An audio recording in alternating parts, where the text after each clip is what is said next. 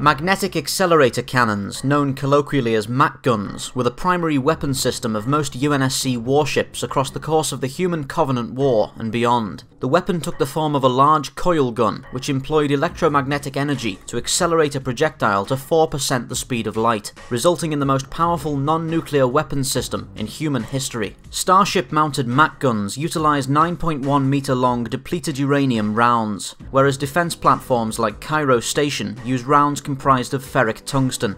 A MAC gun's size requires the weapon to be built into the superstructure of its parent ship or station, meaning that the entire craft must reorient itself in order to aim the cannon. This highly precise, unguided targeting is normally carried out by shipboard AIs, or dedicated tactical computers, as manually aiming the weapon would be close to impossible. The MAC's firing process employs electromagnetism to accelerate a projectile to extremely high velocities. A coil of conducting wire is charged with an enormous current, creating a powerful magnetic field which attracts the metal shell. As the projectile passes through each loop of the highly charged conducting wire, the loop ahead of it is activated, further accelerating the projectile down the barrel of the coil gun. By the time the round has reached the weapon's muzzle, it is accelerated up to a maximum of 12,000 km per second, creating a recoil effect so intense that the ship or station firing the weapon is forced to briefly burn its maneuvering thrusters at full strength in order to remain stationary. Where other weapon systems such as missiles and cannons had previously proven to be of limited effectiveness when engaging shielded Covenant warships, the sheer power behind a single MAC round allowed the weapon to inflict serious damage on a target's shield barrier, sometimes even forcing through it completely.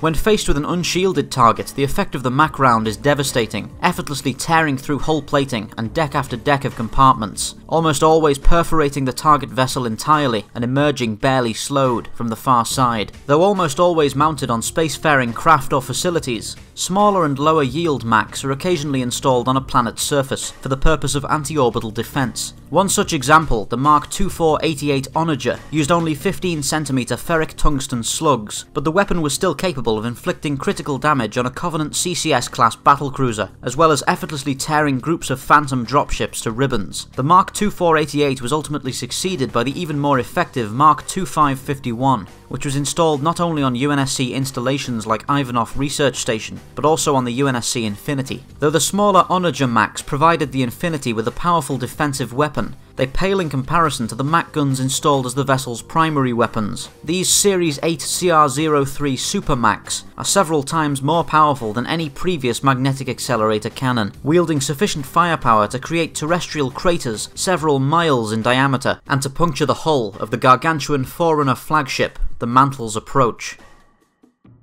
This video was one in a series of collaborations between Halo Canon and Spacedock. Spacedock is a channel that covers ships, battles, lore, and more from dozens of sci fi series, including Halo, Warhammer 40k, Star Trek, and Star Wars, among many others. Click the link on screen or check the description box to check out more Spacedock videos and subscribe. Also, be sure to check out the playlist for all Halo Canon Spacedock collab videos this week.